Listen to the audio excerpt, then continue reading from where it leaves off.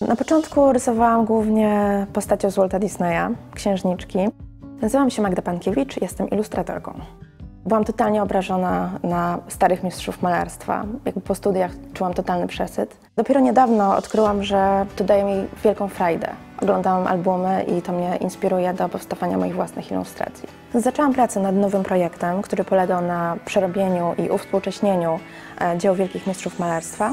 Wiedziałam, że muszę się bardzo dobrze przygotować. Wyciągnęłam wszystkie albumy, które mam, zaczęłam analizować technikę, linie, paletę barw, ale nie chciałam traktować tych obrazów jak relikwie. Chciałam dodać coś od siebie, jakoś właśnie je uwspółcześnić.